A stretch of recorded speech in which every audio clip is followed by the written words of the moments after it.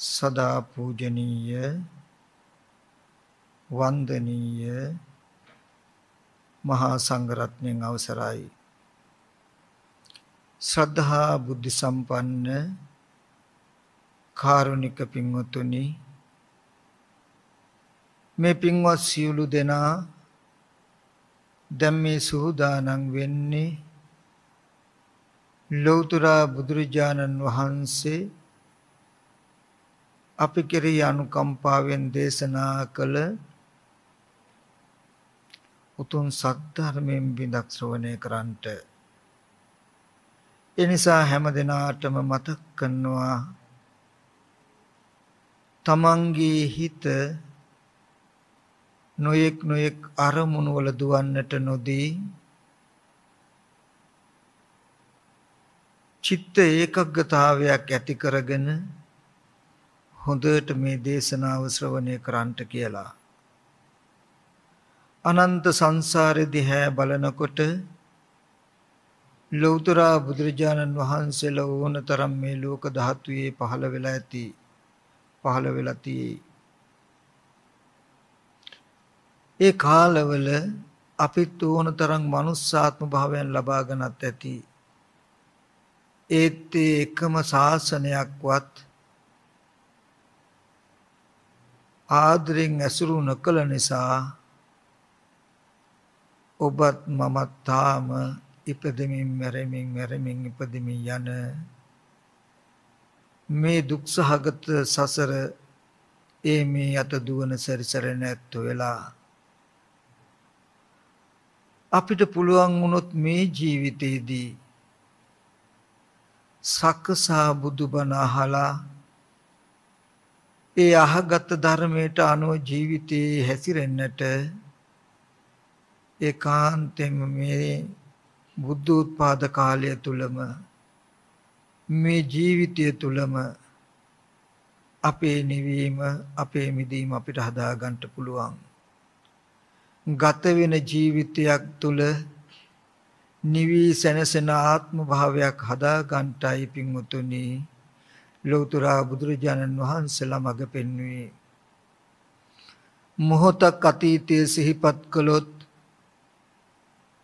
මේ වගේ සද්ධර්ම දේශනාවන් අහලා ඒ දේශනාවන් ජීවිතයට එකතු කරගත්ත නිසායි පටාචාරා වගේ තමන්ගේ සියලුම නෑදෑ පිරිස අහිම් වෙලා මහා දුක් ගොඩක් වින්ද ඒ මාතාව සුවපත් උනේ ඒ වගේම තමන්ගේ එකම දරුවා මල සොවින් අඩා වැළපුණු කිසා ගෝතමිය සුවපත් උනේ මෙබඳු ධර්මයක් ශ්‍රවණය කරලයි. ඒ වගේම රජ්ජුමාලා වගේ දාසියන් ඒ දාසි භාවයෙන් මිදිලා නිවි සැනසුනේ මෙබඳු සද්ධර්ම දේශනාවන් ශ්‍රවණය කළයි. ඒ වගේම අඟුලිමාල ආදී මහ ඡණ්ඩ පරුස ගති ඇති ඇත්තෝ අහිංසක යන නම සැබෑවටම අර්ථවත් වෙන අහිංසක ජීවිතයක් හදාගෙන නිවි සැනසෙන බවට පත් උනේ මෙබඳු දහමක් තුලින්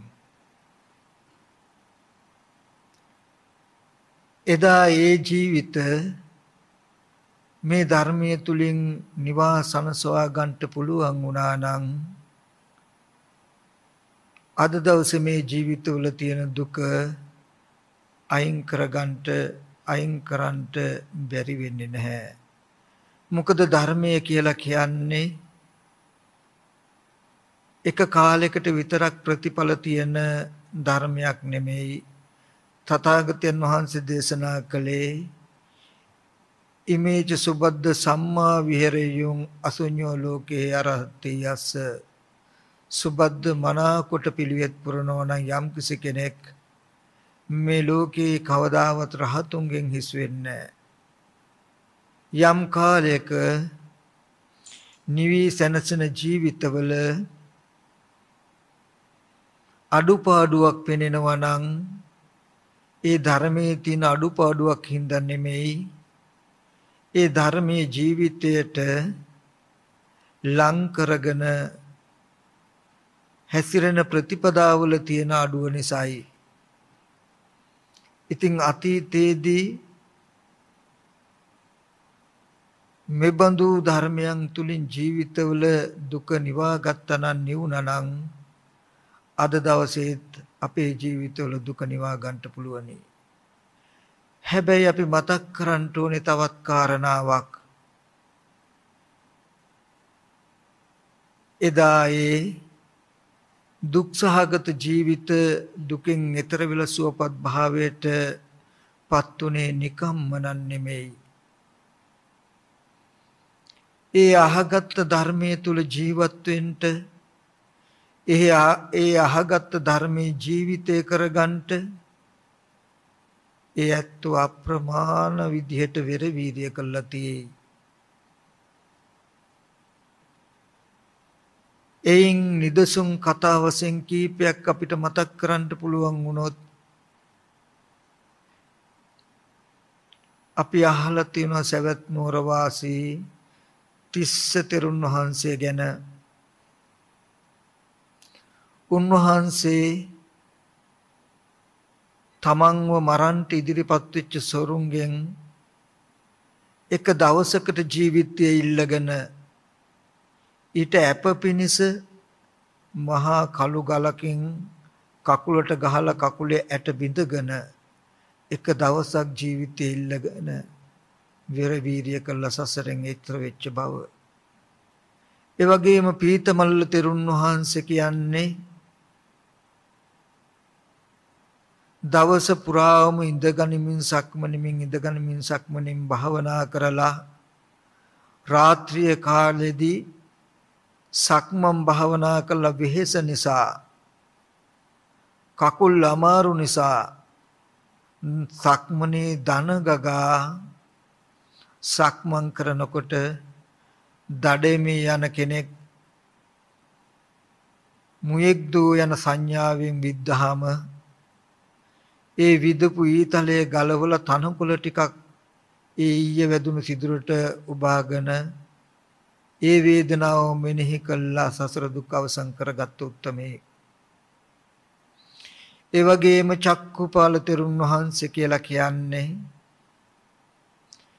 ඒ වගේමයි කාය ජීවිත අපේක්ෂාවෙන් තොරව කය ගැන බලන්නේ නැතුව ජීවිතය ගැන බලන්නේ නැතුව විමුක්තියම අරමුණු කරගෙන කටයුතු කළ මහෝත්තමයන් වහන්සේ නමක්. උන්වහන්සේ අවවාද කරගන්නවා චක්කූනි හායන්ති මමායිතානි. පාලිත මමායනය කරන මේ ඇහැ නැසෙනවා. සෝතානි හායන්ති මමායිතානි. සබ්බම් පිදං හායති දේහනිසිතං කිං කාරණවතං පාලිත පමජ්ජසි. පාලිත මමායනය කරන ඇහැ වගේම කනත් නැසෙනවා. මම කියලා අල්ලගෙන තියෙන මේ ශරීරය සියලු දේම නැසෙනවා. කිං කාරණවතුං පාලිත පමජ්ජසි. පාලිත ප්‍රමාද වෙන්න තියෙන කාරණාව මොකක්ද? නුඹගේ ඇහැගෙන බලන්නේ නැතුව අප්‍රමාදීව ධර්මයේ හැසිරෙන්න කියලා තමන්ටම අවවාද කරගෙන වීරිය කළා. ඒ වගේ මිලක්ක තිස්ස තෙරුන් වහන්සේ කියලා කියන්නේ නිදිමත හැදුණු වෙලාවේදී පිදුරු වලින් දරණුවක් හදලා ඒක තෙමාගෙන හිසටත් තබාගෙන නිින්ද යන නිසා නිදිමත එන නිසා පැම්බේසමක් අරගෙන කකුල් දෙක ඒකට දාලා තුන් යම රාත්‍රිය පුරාවටම අප්‍රමාදීව භාවනා කළ කෙනෙක් සද්ධර්මය අහනවා වගේම අතීත උත්තුමිය දුකෙන් මිදුනේ නිකන් නන් නෙමෙයි. මෙන්න මේ වගේ වෙර වීරිය වඩලා. ඒ චරිත වලින් පශ්චිම ජනතාව අපිට හොඳ ආදර්ශයක් වෙනවා. ඒ වගේම හොඳ කතාවක් දේශනා කරනවා. ඉමක් කොනක් පරක් තෙරක් නැති මේ දුක් සහගත සසරෙන් එතර වෙන්න නම් සද්ධර්මයේ අහන්ට ඒ වගේ මේ අහගත් ධර්මයේ ජීවිතය කරගන්නට අප්‍රමාදීව වෙරවීරිය වඩන්ට කියන කාරණාව ඒ චරිත තුලින් අපිට පැහැදිලි කළා පෙන්නනවා. ඉතින් පින්වතුනි අපිටත් පුළුවන් නම් තථාගතයන් වහන්සේ අපි කෙරෙහි අනුකම්පාවෙන් දේශනා කළ සසර දුක්ගිනි නිවන සද්ධර්මයේ දේශනා කරනකොට එක සක්කසා ශ්‍රවණය කරන්ටත් ඊට පස්සේ ඒක ශ්‍රවණය කළාට පස්සේ මිලක්ක තිස්ස තෙරුන් වහන්සේ වගේ තිස්ස තෙරුන් වහන්සේ වගේ චක්කුපාල තෙරුන් වහන්සේ වගේ කාය ජීවිත දෙකේ අපේක්ෂාවක් නැතුව අර ධර්මීය ජීවිතය කරගෙන වීරිය කරන්නට පුළුවන් නම් ඒකාන්තයෙන් මේ දුක් සහගත සසර ගමන මේ ජීවිතයේදීම අපිට නිමා කර ගන්නට පුළුවනි. ඉතින් ඒ සඳහා ඕගොල්ලන්ට මේ දේශනාව ශ්‍රවණය කරන හැම දිනාටම ශක්තිය ධෛර්යය ලැබේවා කියන සත් ප්‍රාර්ථනාවත් එක්ක මම බොහොම වටිනා දහම් කරුණු ටිකක් කියලා දෙනවා. මෙන්න මේ ටික හොඳට අහගන්ට මේ ටික අහගත්තාම ඒ අහගත්ත ආකාරයට ඔගලන්ට පුළුවන් වීරිය කරන්නට ඒ වීරිය කරන ආකාරය මත ප්‍රමාණය මත තරම මත තමන්ගේ ජීවිතයෙන් තමන්ට දුක අයින් කරගන්නට පුළුවන්කම ලැබේවි. පින්වතුනි බුදුරජාණන් වහන්සේ දේශනා කරනවා ඉමස්මින් සති ඉදං හෝති ඉමස්ස උපාදායමං උපජ්ජති මෙය ඇති කල්හි මෙය වෙයි මේ ධර්මයන්ගේ ඉපදීමෙන් මේ ධර්මය උපදී ඉමස්මින් අසති ඉදං නහෝති ඉමස්ස නිරෝධායමං නිර්ජති මේ ධර්මයේ නැති කල්හි මේ ධර්මය නොයයි මේ ධර්මයන්ගේ නිරුද්ධ වීම මේ ධර්මය නිරුද්ධ වෙයි. එතකොට තථාගතයන් වහන්සේ දේශනා කළේ මොකක්ද? කුමන ධර්මයක් ඇති කල්හි කුමන ධර්මයක් හට ගන්නවා කියලාද? කුමන ධර්මයක් නැති කල්හි කුමන ධර්මයක් නැති වෙනවා කියලාද? තථාගතයන් වහන්සේ පෙන්වා වදාළේ මේ පටිච්ච සමුපද ධර්මතාවය. අවිද්‍යාව නැමැති ධර්මතාවය ඇති කල්හි සංඛාර නැමැති ධර්මතාවය වෙයි. අවිද්‍යාව නැමැති ධර්මතාවයේ ඉපදීමෙන් සංඛාරය නැමැති ධර්මතාවය උපදිනවා.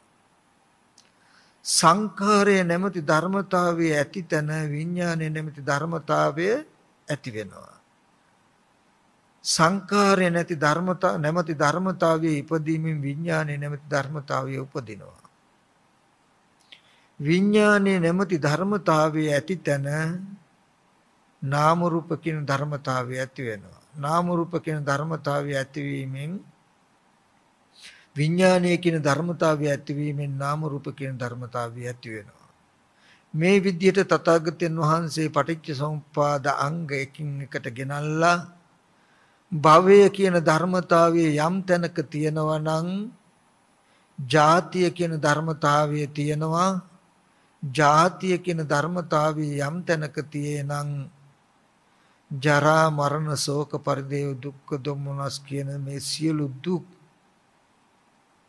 ඇතිවීම වෙනවා ඇතිවීම තියෙනවා දුක පවතිනවා කියලා පෙන්වුවා.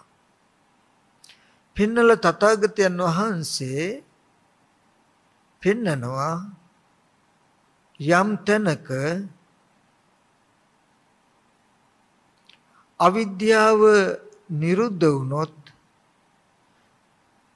ඉමස්ස නිරෝධා ඉම නිරුජ්ජති ඒ අවිද්‍යාව නැමැති ධර්මතාවය නිරුද්ධ වීමෙන් සංඛාරය නැමැති ධර්මතාවය නිරුද්ධ වෙනවා සංඛාරය නැමැති ධර්මතාවය නිරුද්ධ වීමෙන් විඥානය නැමැති ධර්මතාවය නිරුද්ධ වෙනවා.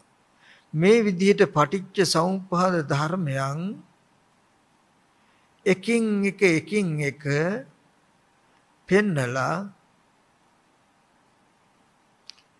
යම් තැනක භවය නැත්තම් ජාතිය නැහැ ජාතිය නැත්තම් ජරා මරණ ශෝක පරිදේ දුක් දුම්නස් නිරුද්ධಂತಿ සියලු දුක් දුම්නස් නිරුද්ධ වෙනවා කියලා පෙන්වනවා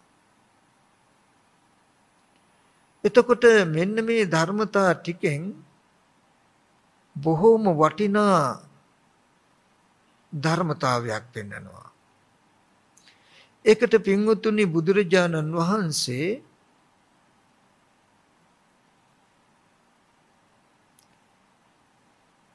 තව උපායකුත් පෙන්නනවා.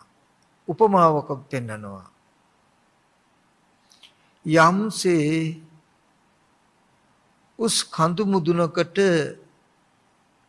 වර්ෂාවක් පතනය වුණොත් වැස්සක් වැස්සොත් ඒ තුලින් ඇතිවෙන ජල කඳ පහළට ගලාගෙන ඇවිල්ලා කුඩා වලවල් පුරවනවා කුඩා වලවල් පිරීලා මහ වලවල් පුරවනවා මහ වලවල් පුරවලා කුඩා පොකුණු පුරවනවා කුඩා පොකුණු පුරවලා මහ පොකුණු පුරවනවා මහ පොකුණු පුරවලා කුඩා ගංගාවන් පිරෙනවා. කුඩා ගංගාවන් පිරීලා මහා ගංගාවන් පිරෙනවා. මහා ගංගාවන් පිරීලා මහා සමුද්‍රය පුරවනවා. මේ කාරණාවෙන් පෙන්වන එක දෙයක්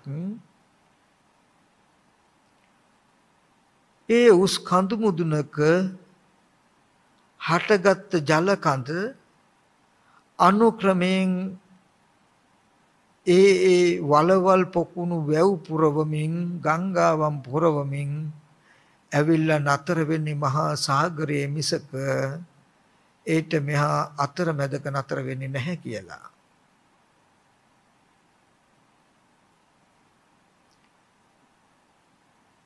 ඒ වගේ තථාගතයන් වහන්සේ පෙන්නනවා ඒ උපමාවෙන් යම් වෙලාවක අවිද්‍යාව නැමැති ධර්මතාවය ඇති වෙලා සංඛාර කියන ධර්මතාවය ඇති වෙනවා සංඛාර කියන ධර්මතාවය ඇති වෙලා විඥානය කියන ධර්මතාවය විඥානය කියන ධර්මතාවය නිසා නාම රූප කියන ධර්මතාවය නාම රූප කියන ධර්මතාවය නිසා සලායතන කියන ධර්මතාවය සලායතන කියන ධර්මතාවය නිසා පස්සේ කියන ධර්මතාවය පස්සේ කියන ධර්මතාවය නිසා වේදනාව යන ධර්මතාවය.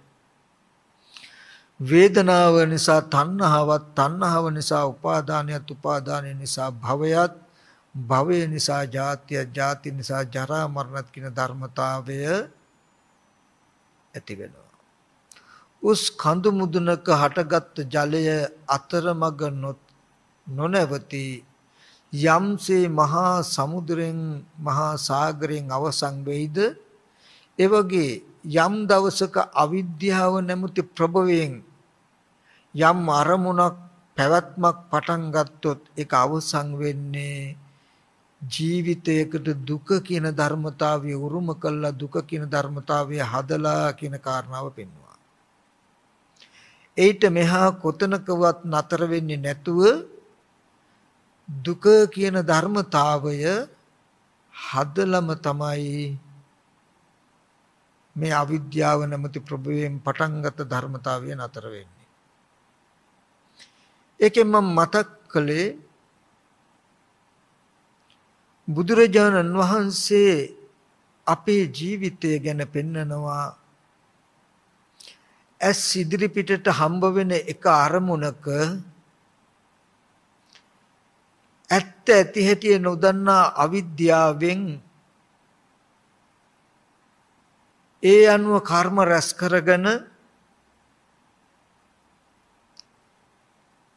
ඒ ඇස් ඉදිරිපිටට එන ආරම්මණය අනුව මෙනෙහි කළා. ඊට අනුරූප වූ චක්කු විඥානයත් කන ඉස්සරහට එන ශබ්දේ ඇත්ත නොදන්නා අවිද්‍යාවෙන් ඊට අනුරූපව මෙනෙහි කළා. සෝත විඥානය ආදී විඥානයන් හදාගත්තොත් රූප ශබ්දාදී අරමුණු මෙනෙහි කළා. හිත කයට නැඹුරු වෙන හැටි ඒ හිත කයට බැස ගන්න නිසා නැවත ඇහැ කන දිවනාසය ශරීරය කියන ආයතන හැදෙන හැටි. ඒ ආයතන ටිකට නැවත රූප ශබ්ද ආදී අරමුණු ස්පර්ශ වීම නිසා වේදනාව ඇති වෙන හැටි. වේදනාව නිසා තණ්හා උපාදාන කියන ධර්මතාවය ඇති වෙන හැටි. උපාදාන නිසා භවය භවය කියලා කියන්නේ දැක්කපු අහපු මේ විදිහට අවිද්‍යාවෙන් පටන් අරගත්තාම දැක්කපු අහපු හැම දෙයක්ම තියෙනවා ඉන්නවා කියලා භවය නැත්තම් ලෝකයේ හැදෙන හැටිත් ඊට පස්සේ ඒ ලෝකය නිසා ජරා මරණ දුක එන හැටිත් කියලා අපේ මේ ජීවිතයේ තුලින්ම පටිච්ච සමුපාද දර්ශනයක් පෙන්වනවා. එහින් යමක් දැක්කට පස්සේ ඒ දැකපු දේ මුලා වෙලා ඊට ඇති කරගන්න කර්ම නිමිති මුල් කරගෙන චක්කු සෝත ගහන ආදී පංච විඥානයන් උපද්දලා නැවත මේ ස්පර්ශ ආයතන 6 ඇති කරගෙන ස්පර්ශ ආයතන 6 උපද්දලා එකට තණ්හාව ඇති කරගෙන මේ ලෝකයේ ඇති බවට හදාගන්න සිද්ධිය.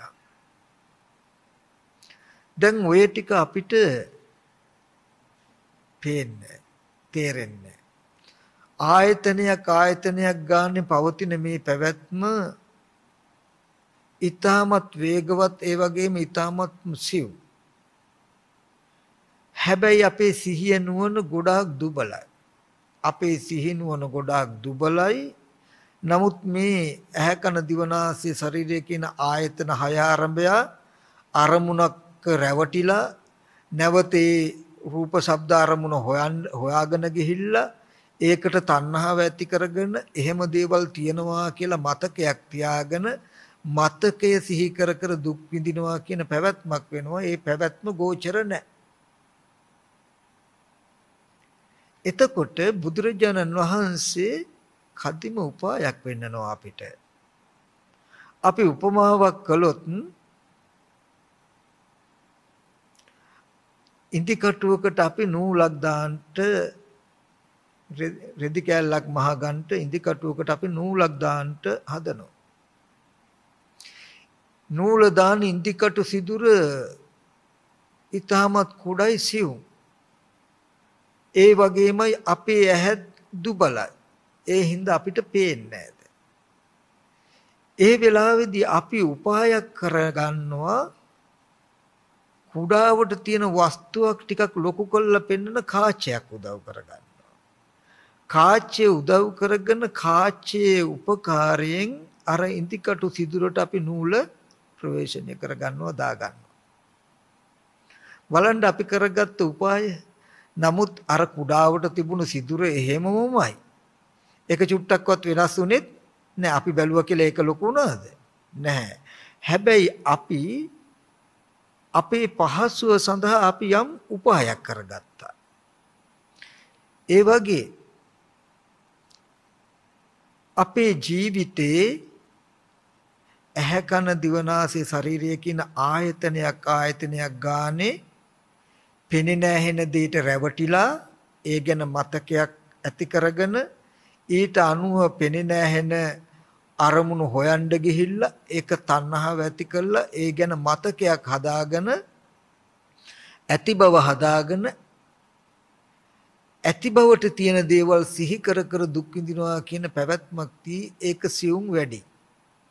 අපේ මනස දුබලයි. දැන් අපිට පේන්නේ අපි උපායක් කරගන්නවා මොකටද? මේක ටික ලොකු කළා දික් කළා බලනවා. මේ චක්‍රය මේ පැවැත්ම ටිකක් ලොකු කරලා දික් කරලා බලනවා කොහොමද? අපි කාල තුනකට තියලා බලනවා. අපේ ජීවිතයෙන් පේන්නේ නැති හින්දා අපි භව වශයෙන්ම තියලා බලනවා ටිකක් ලොකු කරලා. එතකොට අපිට මේක පේනෙනවා.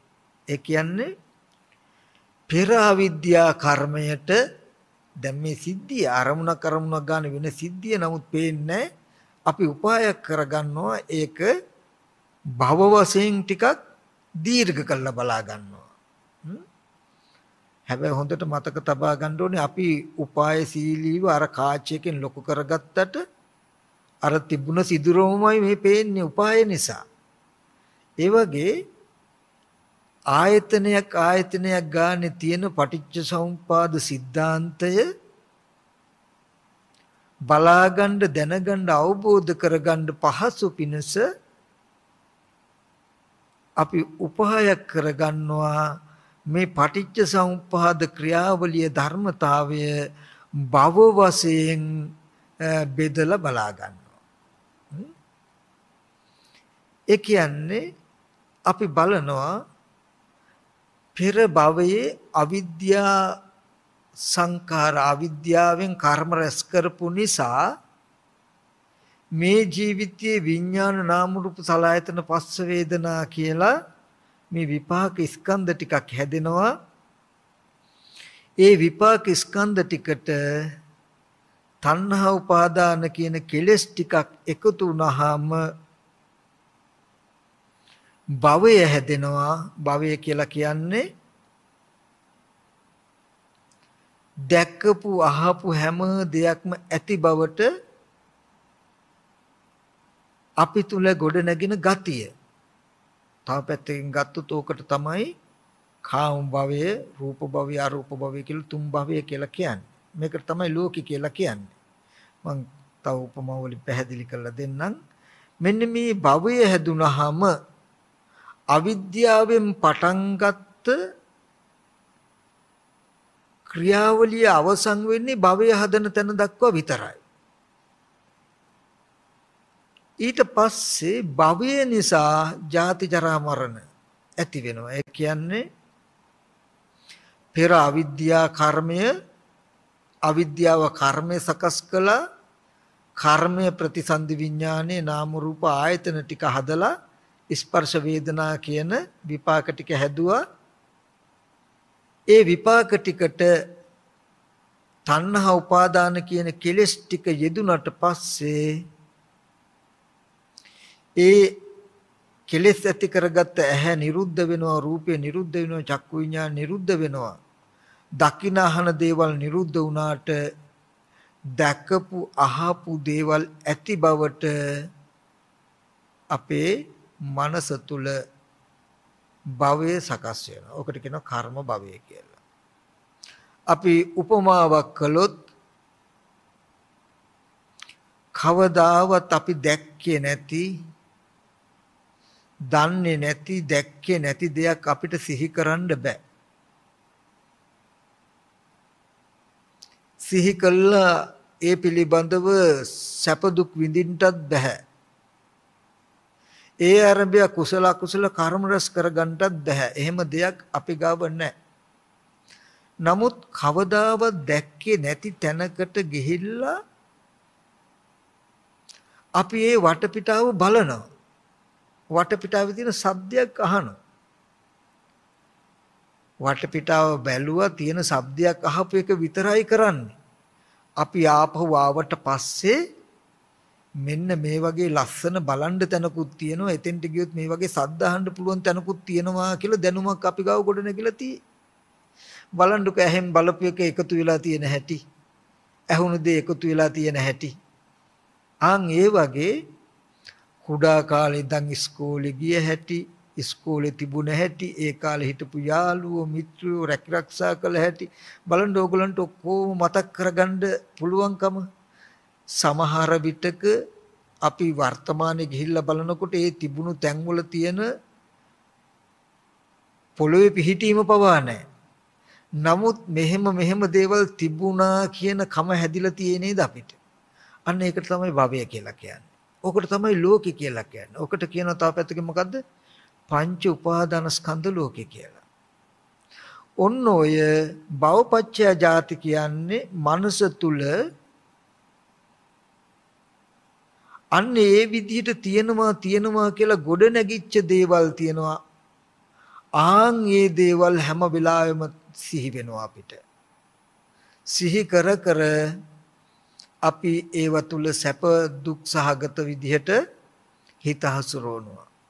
ලෝභ දේශ මෝහ විදිහට කෙලස් පවත්නවා. ඒ කුඩා කාලේ යාළුවෝ සිහි කරගන්න පුළුවන්. සිහි කරගෙන එදා කියපු දේවල් අද සිහි කර කර සතුට වෙන්නත් පුළුවන්. දුක් වෙන්නත් පුළුවන්.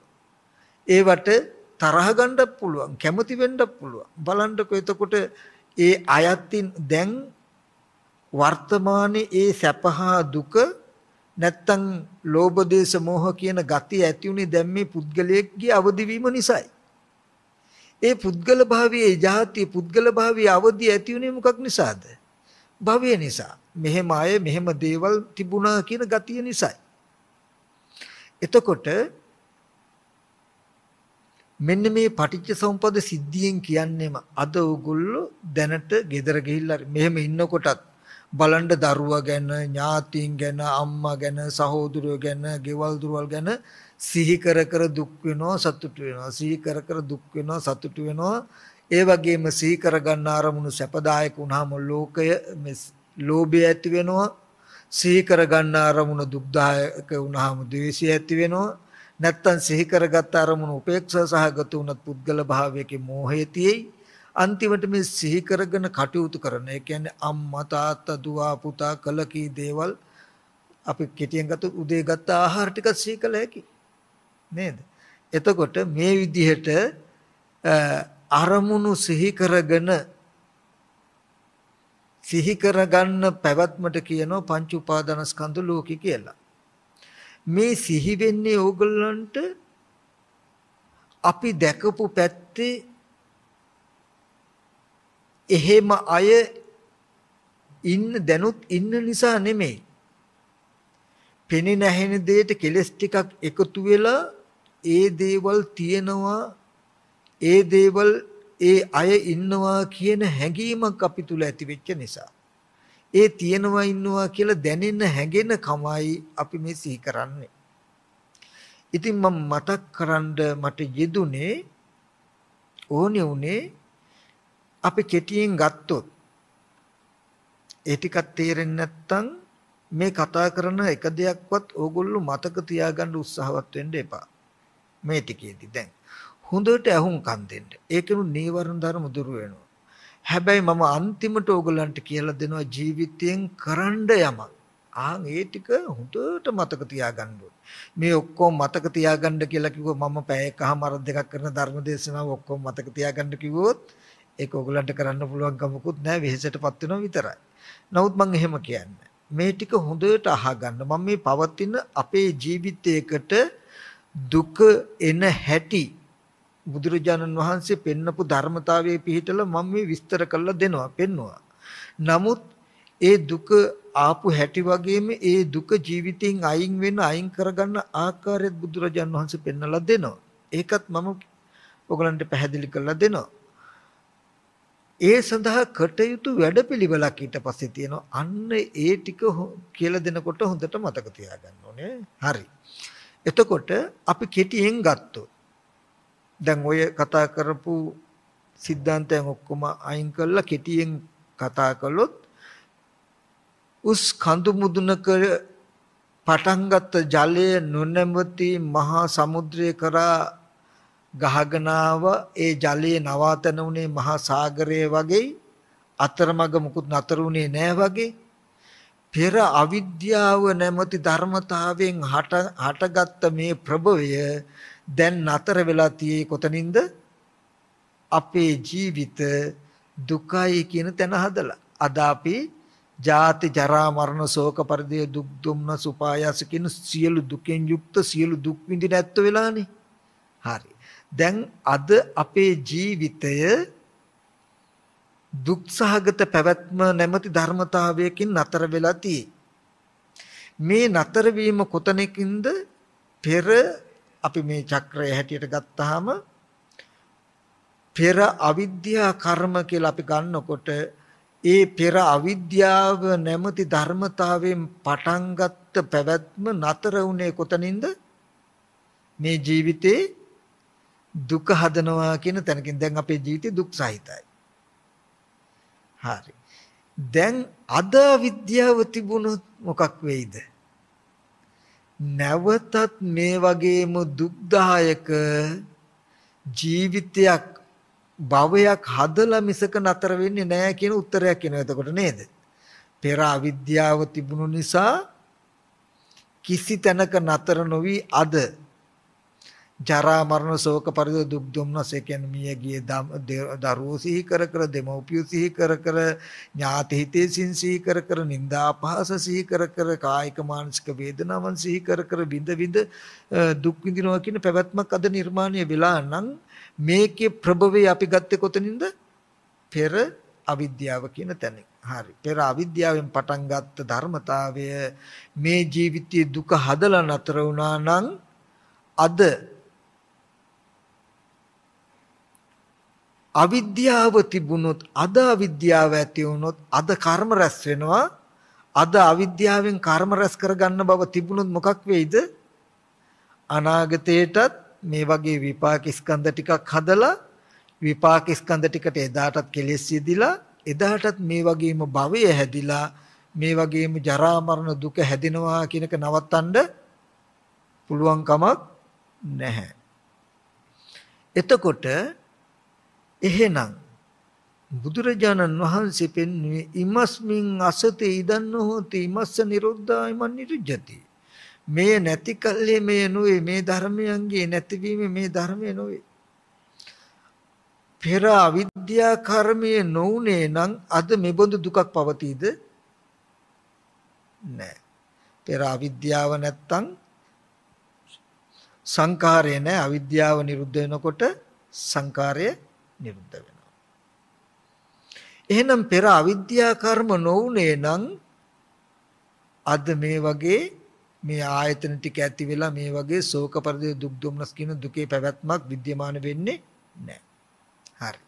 එහෙනම් අපි අද අවිද්‍යාවෙන් කර්ම රැස් කරගන්න කමන අද අවිද්‍යාව නැති වුණොත් නැති වෙනව මොකද්ද? කර්ම සංකාර. අද අවිද්‍යා කර්ම නොවුනොත් మతు මේ වගේ ජරා මරණ ශෝක පරිදු දුක් දුම්නස් කියන ධර්මතාවයක් එතනදී හොඳට මතක තබා ගන්නට ඕනේ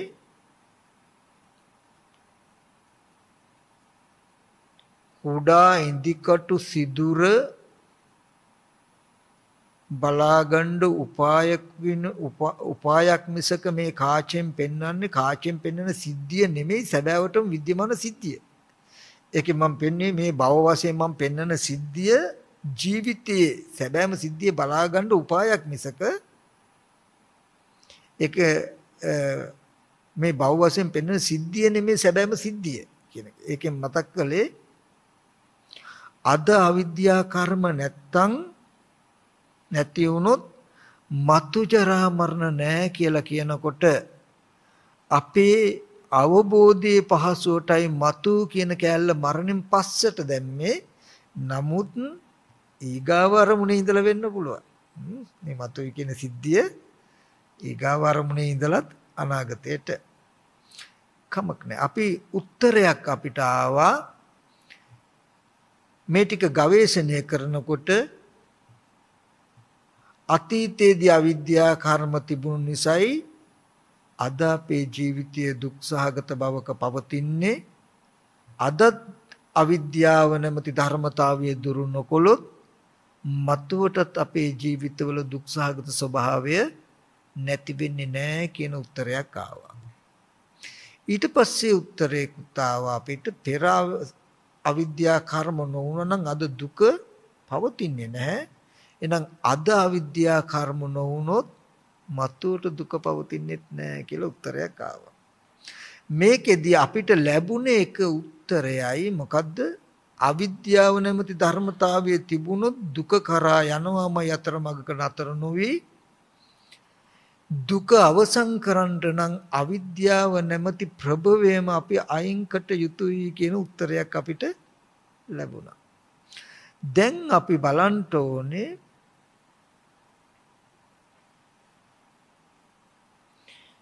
ඒ අවිද්‍යාව දුරු කළා විද්‍යාව ඇති කරගන්නේ කොහොමද විද්‍යාව කියන්නේ මොකක්ද කියලා. අවිද්‍යාව කියන එක මම ඉස්සලා කෙටියෙන් විස්තර කළා. ඇස් ඉදිරි පිටට රූපයක් හම්බ වෙනකොට ඒකේ ඇත්ත නොදන්නා කම නිසා ලෝභය, ద్వේෂ, මෝහ කියන කුසල අකුසල කුසල අකුසල කර්ම ඇති වෙන විදිහට පෙනෙන දේ ආරම්භය අපි හිතනකම නිසා කන ඉදිරි පිටට ශබ්දයක් ඇහෙනකොට ඒ ශබ්දයේ ඇත්ත නොදන්නා කම නිසා කුසල සහගත අකුසල සහගත කර්ම රැස් කරගන්න කම තමයි මේ අවිද්‍යාපච්චය සංඛාරා කියලා කියන්නේ කියන කාරණාව. දැන් අපි බලන්න ඕනේ එහෙනම් විද්‍යාව කියන්නේ මොකක්ද කියලා.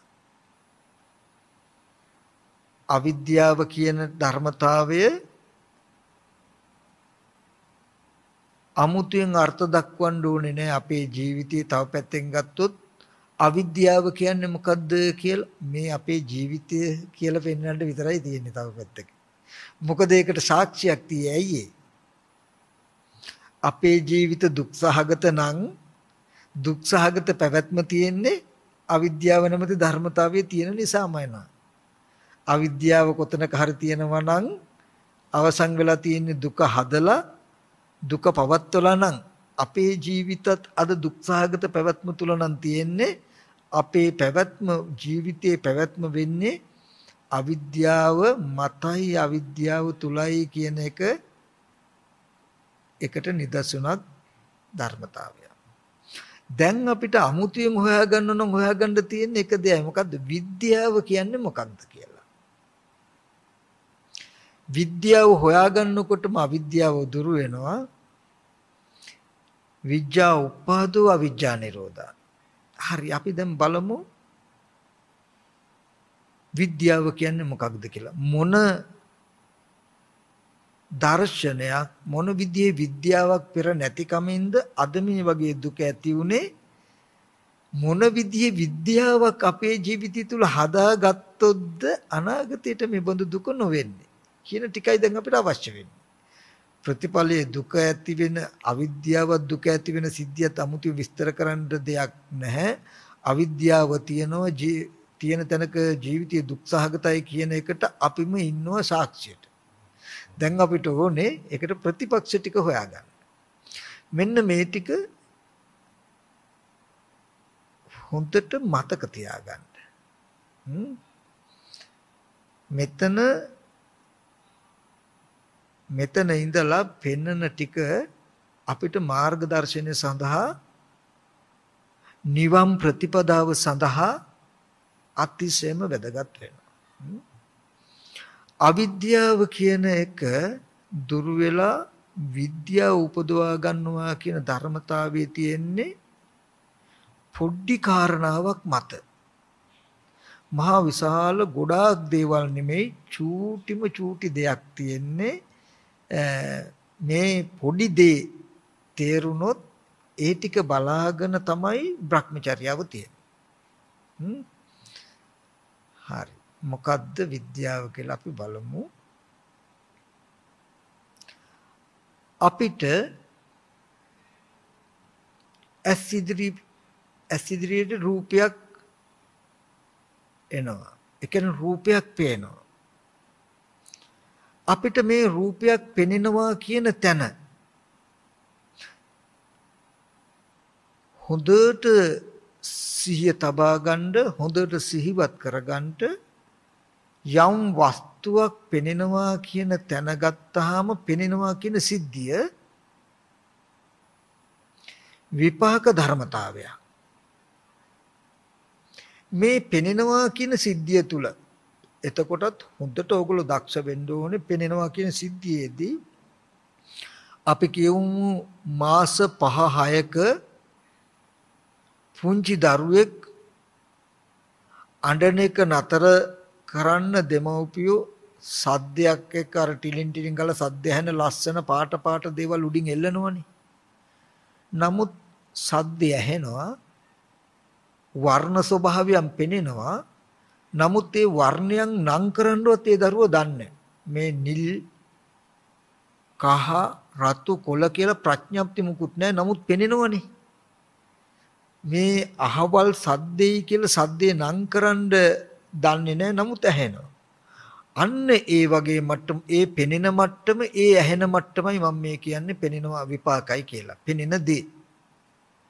මේ පෙනෙන දේ තුල පෙනෙන පැත්තේ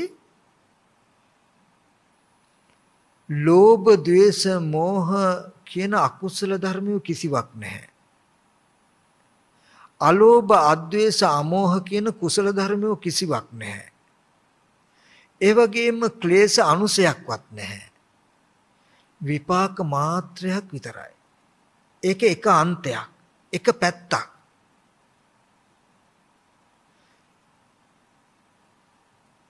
ඒ පෙනෙන දේ ආරම්භය අපිට කිසිවක් කළ හැකි බවක් නැහැ. යථාර්ථය දිත්තේ දිත්ත මත්තන් දැකීම දැකීම මාත්‍රයක්ම පමණයි. ඒ එබඳු රූපයක් ඇස් ඉදිරි පිටට ආවහම යම් වෙලාවක අපි දන්නවා නම් පෙනෙන දේ පෙනීම මාත්‍රයක් විතරයි පෙනෙන දේ ආරම්භය මොනවා හරි දෙයක්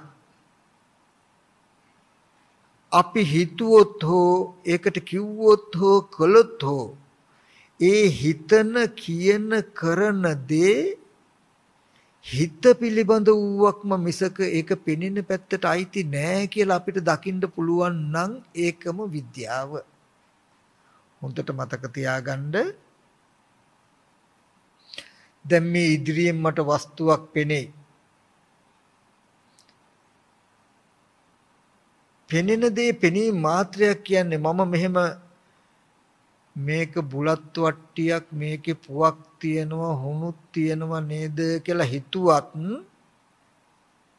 මම හිතන හිතන විදිහට දැනගන්නවා මම හිතන දේ බැඳිලා තියෙන්නේ දැනගන්න පැත්තට හිත පැත්තට මිසක මම හිතන දේ පෙනෙන සිද්ධියට අයිති නෑ නේද කියන නුවණක් මට තියෙනවා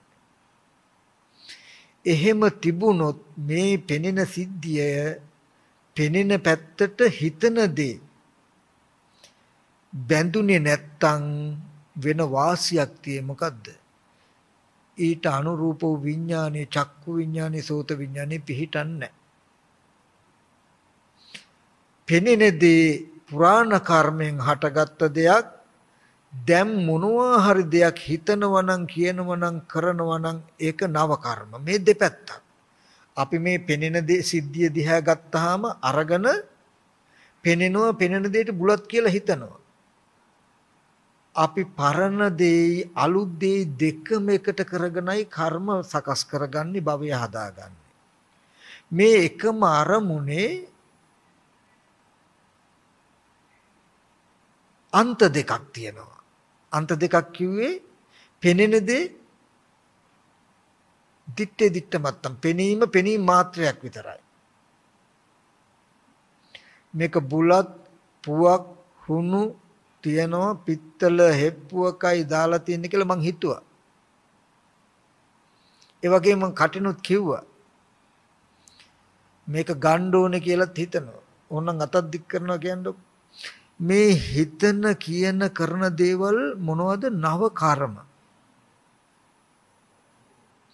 මේ හිතන කියන කරන දේවල් බලාගෙන තමයි විඥාණය නැත්තම් හිත ඇති වෙන්නේ. අපිට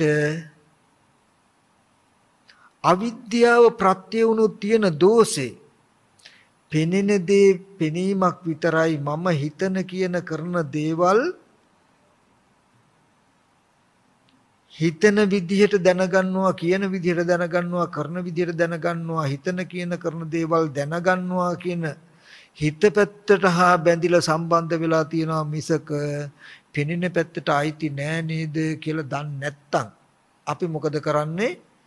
පෙනෙන පුරාණ කර්මයට පෙනෙන දේ වර්තමානයේ බුලත් පුවක් හෙප්පුව කියලා හිතුවාම විඥාණයෙන් දැනගන්නවා දෙපැත්තකට නැති එකක්.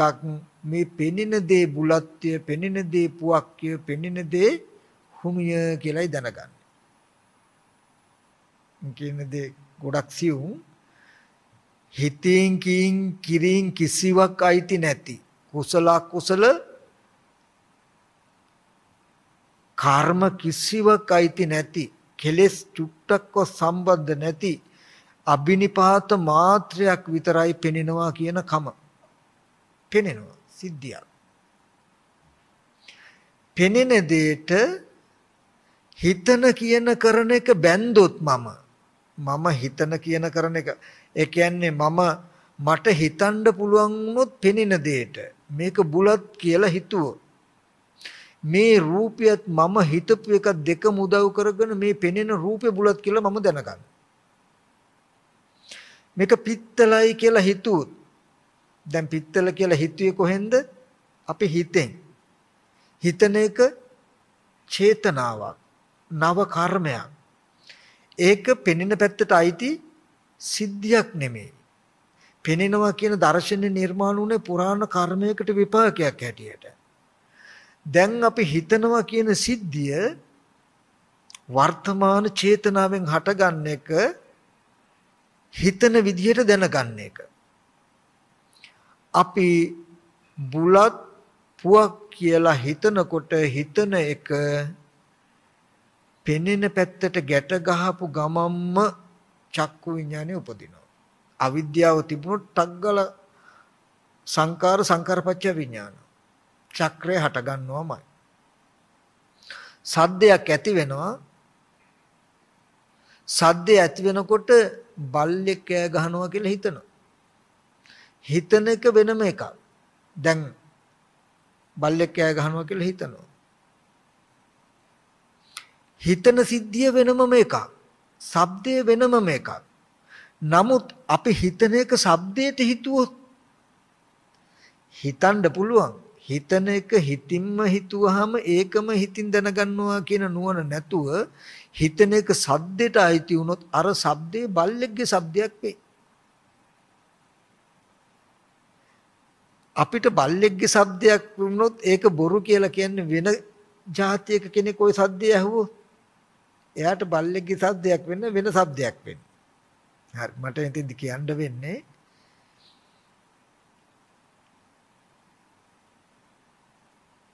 පෙර අවිද්‍යා කර්මයට හටගත් විපාක ධර්මතාවයක් හැටියට රූප පෙනේ ඇස් ඉදිරි පිටට රූපෙයි. රූපේ යථාර්ථයේ දිත්තේ දිත්ත මතන් දැකීම මාත්‍රයක් විතරයි. කන අභියසට ශබ්දෙයි සුතේ සුත මත්තන් ඇසීම ඇසීම මාත්‍රයක් විතරයි. නාසයට දිවට කයට අරමුණු හම්බ වෙයි.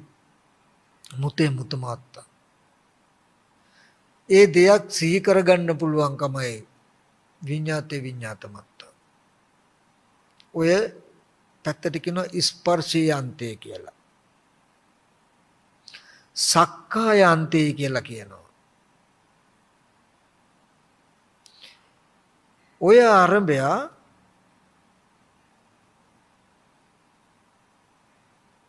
හිතින් කීන් කිරින් කරන්න පුළුවන් නම් අපිට අපි මේ ස්පර්ශ ආයතන හය හා බැඳෙනවා. ඒ කියන්නේ ඇහැට පෙනෙනවා පෙනෙන දෙයට මට හිතන්න පුළුවන් නම්. මම පෙනෙන දෙයට බුලත් කියලා හිතුවාම පෙනෙන දෙයක මම ඉන්නවා මං එක්ක පෙනෙන දේ තියෙනවා. පෙනෙන දේ මං එක්ක ඉන්නකොට මම පෙනෙන දේ එක්ක ඉන්නකොට පෙනෙන දෙයට මොන හරි වෙනකොට මට රිදෙයි එතකොට දිත්තේ දිත්තමත්තන් කියලා කියන්නේ පෙනෙන දේ පෙනීමක් පමණක් වුණොත් මොනවා හරි දෙයක් මම හිතුවොත් හිතනවා කියන දේ පෙනෙන දෙයට අයිති නැතුව පෙනෙන දෙයට අයිති නැතුව හිතීමෙන් පස්සේ ඒ සිතත් එක්කම හිතන දේ නිරුද්ධ වෙනවා කියන නුවණක් මට ආවොත් මම මේ පෙනෙන දේ එක්ක නැහැ. පෙනෙන දේ මං එක්කත් නැහැ. ඒකයි බාහ්‍ය දාරු චරිතරුන් වහන්සේට පෙන්වන්නේ බාහ්‍ය යම් වෙලාවක ඔබට දිත්තේ දිත්තමත්තන් දැකීම දැකීම මාත්‍රයක් වුණොත් එකල්ලි ඔබ එහි නැහැ. එකල්ලි ඔබ එහි නැත්තම් ඒ අරමුණ ඔබ එක්කත් නැහැ. ඔබ අරමුණ එක්කත් නැත්තම් අරමුණු ඔබ එක්කත් නැත්තම් එකල්ලි බාහිය ඔබ මෙලොව නෙමෙයි. එකල්ලි ඔබ පරලොවත් නෙමෙයි. ඔබ මෙලොව පරලොව දෙයතර අතරත් නෙමෙයි. මේ දුකේ අවසාන. මේකෙන් කියන්නේ එක දෙයයි. අපිට හිතන්න කරන්න කියන්න කරන්න පුළුවන් දෙයක් තියෙනම් මේ හිතන කියන කරන දේවල් හිතින්ම සිහි කළා හිතනවා හිතින්ම සිහි කළා කියනවා හිතින්ම සිහි කළා කරනවා කියන දැක්මකට ආවොත් හිතන කියන කරන දේවල් එක්ක බාහිර ස්පර්ශ ආයතන හයට නැඹුරු නොවුනොත් අපි ස්පර්ශ ආයතන හයේ මිදිලා ඉන්නේ ස්පර්ශ ආයතන හයේ එක්ක නෑ දැකම් පවත්තන්නේ ඇහැ කන දිව නාසය ශරීරය කියන ආයතන හය එක්ක චුට්ටක්වත් අපි ගනුදෙනුවක් නැහැ. එදාට අපි මේ ලෝකෙන් මිදිලා. ඇහෙන් රූපෙන් චක්කු විඥාණයෙන් කනෙන් ශබ්දෙන් සෝත විඥාණයෙන් මිදිලා කියලා කියන්නේ පෙනෙන ඇහෙන දේවල් තිබුණට හිතෙන් තමන් නොඇලිලා ඉන්නේ හැම වෙලාවෙම පෙනෙන දේ ඇහෙන දේ ඇලිලා බැඳිලා උපාදානව ඉන්නවා කියන්නේ වෙන මුකුත් නෙමෙයි. පෙනෙනකොට ආ රෝස මලක්නේ ලස්සනයිනේ කහපාටයිනේ පුවක්නේ බුලත්නේ කියලා ඔන්න පෙනෙන දෙයට හිත හිතා නැඹුරු වෙනවා. ඈ අහවල් ගායකයාගේ සින්දුවනේ ගායිකාවගේ සින්දුවනේ අහවර කුරුල්ලගේ සද්දනේ කියලා අපි මේ හිතෙන් ශබ්දය කරා යනවා. ආ ඒ කෝපිම කෝපි සුවඳනේ කැවුම් බදින සුවඳනේ පිච්චමල් සුවඳනේ කියලා හිතෙන් ගන්ධය කරන්න පුරුව අපිට හිතෙන් දැන් හිතන්න පුළුවන්කම මේ පෙනෙන ඇහෙන කියන ආයතන ටිකට බැන්දොත් අපිට ලෝකයක් නිර්මාණය වෙනවා. යම් වෙලාවක රහතන් වහන්සේ කියලා කියන්නේ මේ ස්පර්ශ ආයතන හයම පෙනෙන ඇහෙන ගඳ සුවඳ ලබන රස විඳින ස්පර්ශ ආයතන හයම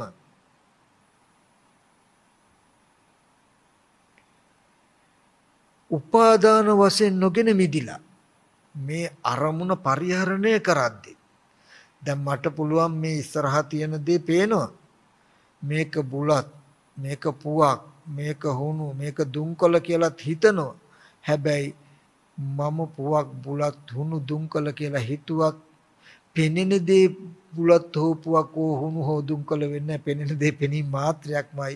මම හිතන හිතන දේ මම දැනගන්නවා නේද කියන නුවණක් මට තිබුණොත් වචනයක් කතා කරුවත් මේක බැඳෙන්නේ මේ වචන ටික මේ රූපෙට බැඳෙන්නේ අනිත් කෙනා ලෝකේ කෙනා හිතයි ආ මේ අපි වගේම මේ පෙනෙන දෙට බුලත් පුවක් කියලා අර කියන්නෙත් කියයි.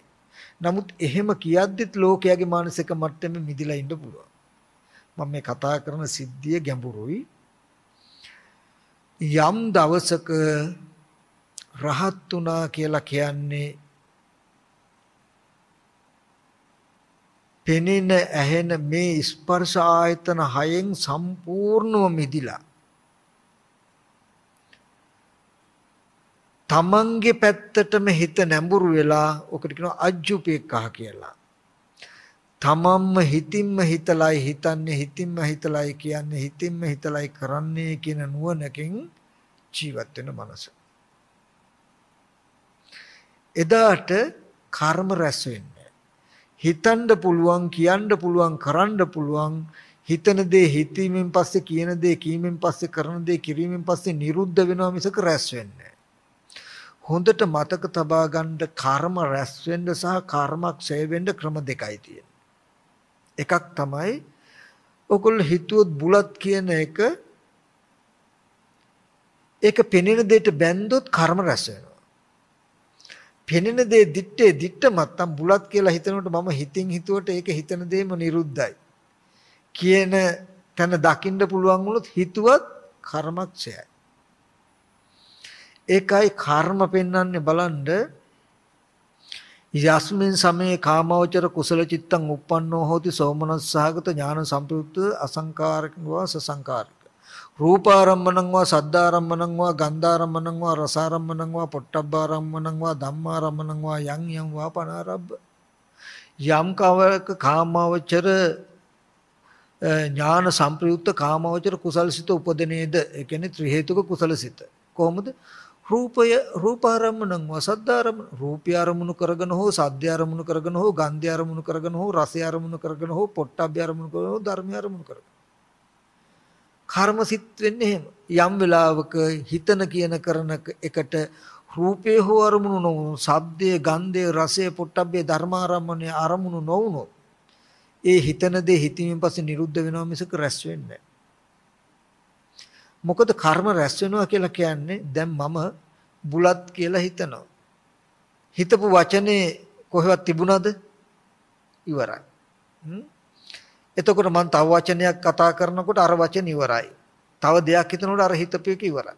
නමුත් ඒ හිතපු දේ නිරුද්ධ වුණා ඉවර වුණා කියන්නේ නැතුව රැස් වුණා කියලා අපිට කියනවා. ඇයි මම බුලත් කියලා හිතුවාම හිතන එක මේ රූපෙට බඳිනවා. ඒ හිතපු එක ඉවර වුණාට මරණාසන්න මොහොතේදී මට මේ රූපේ විතරයි පේන්නේ. පේනකොට මේ රූපෙට මේ විදිහටයි හිතලා තියන්නේ මේ විදිහටයි කලේ කියන ටික තේරෙනවා. අපි කවුරු හරි කෙනෙක් ගැන හොද්දට තරහ ඇති වෙන විදිහට හෝ කුසල් ඇති වෙන විදිහට හිතනවා. හිතපු සිද්ධිය නිරුද්ධ වෙනවා. නමුත් කර්ම රැස් වෙනවා කියලා කියන්නේ මරණාසන්න මොහොතේ අර රූපේ පේන්නේ. පේනකොට මේ රූපෙට මේ මේ විදිහට හිතලා තියෙනව නේද කියන ටික ඒකේ තියෙයි. නමුත් මං හිතපු එක පෙනෙන ඇහෙන අරමුණකට බැඳෙන්නේ නැත්තම් මට කර්ම රැස් වෙන්න තැනක් තියේද? නැහැ. ඒකෙදි මම මතක් කළේ මම මතක් කරන තැන ගැඹුරුයි. යම් දවසක තමන්ගේ තමන් කියලා කියන්නේ මේ හිතන්න හිතන්න පුළුවන් පැත්තට. හිතන කමට. දැන් හිතන්න කියන්න කරන්න පුළුවන් පැත්තට කියනවා තමන් කියලා. තමන් පෙනෙන ඇහෙන දේ එක්ක ගනුදෙනුවක් නතර වුණොත් තියෙන ගනුදෙනුව නතර වෙච්ච දවසටයි සසර නතර වෙන්නේ. ඔකට කියනවා අනුපාදා පරිනිර්වාණය. ඇහැ කන දිවනාසය ශරීරය කියන මේ ස්පර්ශ ආයතන 6 උපාදාන වශයෙන් නොගෙන මිදුනා කියන තැන. උපාදාන වශයෙන් නොගෙන මිදුනා කියන තැන. යම් වෙලාවක අද පෙනෙන පැත්ත පුරාණ කර්මෙන් හටගත් විපාකයි ඒක එක පැත්තක් හිතන කියන කරන දේ කර්ම කර්ම රැස් වෙනවද අස් වෙනවද කියන එක තියෙන්නේ අවිද්‍යාව මත හා විද්‍යාව මත හිතන්න කියන්න කරන එකට අවිද්‍යාව ප්‍රත්‍ය වුණොත් මේ විපාකෙට පෙනෙන දෙයට හිතුවොත් කිව්වොත් කළොත් මොකද වෙන්නේ? කර්ම රැස් වෙනවා කියලා කියන්නේ පෙනෙන දේ මහ භූතයන්ගේ උපාදාය රූපයක් වර්ණ සටහන නැත්තම් මහ භූතයි. පෙනෙන රූපය එක පැත්තක්. මම බුලත් කියලා හිතනවා. මම හිතපු එකයි මේ රූපයයි දෙකම එකට එකතු කළා මේ හැඩේ බුලත් කියලා දැනගැනින්නක් හැදිලා ඇති. නාම රූප පත්‍ය විඥාන. ඇහැට පිටින් තියෙන වස්තුවක් ගැන තමන් තමන්ගේ ප්‍රති දැනුමක් ඇති වෙලා. දැනුමක් තිබුණොත් ඒක හිතන්න හිතට සිහි කරන්න පුළුවන්. දැන් බලන්න ඇහැට පිටින් තියෙන ඇඟේවත් හැපිලා නැති කාය පටිබද්ද නොවු වස්තුවක් ආරම්භය අපි තුලට දැනුමක් ඇවිල්ලා. Taman තුලට යම් දෙයක් දැනුමක් ආවොත් ඒක ඕන වෙලාවක සිහි කරන්න පුළුවන් නේද? දැන් ගෙදර කාර් එක යාළුවෝ මිත්‍රයෝ කියලා බලන්න ඕගලන්ට සිහි කරන්න පුළුවන්කම තියෙන්නේ ඕගලන්ට දැනුමක් ඇතිවෙච්ච දෙයක් ආරම්භය විතරනේ. හරි. ඕගලන්ට දැනුමක් ඇති වෙන්න ඇතුළත පිටත දෙයක් ඇතුළට දැනුමක් හැටියට ලබා ගන්න තියෙන එකම මාධ්‍ය තමයි චේතනාව. අරමුණක හිත හසුරන ආකාරය මත. ඒකයි බුදුරජාණන් වහන්සේ දේශනා කළේ යංච චේතේති පකප්පේති ආරම්මන සමේතම් විඥානසටිති යංච න චේතේති පකප්පේති යංච අනුසේති ආරම්මන සමේතම් විඥානසටිති මේ අරමුණට හිතයිද කල්පනා කරයිද ඒත් විඥානේ පිහිටනවා. යම් කිසි කෙනෙක් හිතුවේත් නැහැ කල්පනා කළෙත් නැහැ ඒ අනුශය වශයෙන් හෝ පැවතුනොත් අරමුණේ විඥානේ පිහිටනවා. ඒකෙන් කිව්වේ සමහර විටක බුලත් පුවක් හෙප්පුව කියලා මේ වගේ ප්‍රඥප්තියෝනෙත් නැහැ. මේ පෙනෙන පැත්ත විපාකයි හිතන කියන කරන පැත්ත ඊට අයිති නැහැ ඒක හිත පිළිබඳ වූවක්මයි කියන එක නොදන්නා කමින් බැලුවහම ඇති. මේ හිතේ පැත්ත අර පැත්තට සම්බන්ධ වෙලා. ඔකට කියනවා අජ්ජෝසාය තිට්ඨති.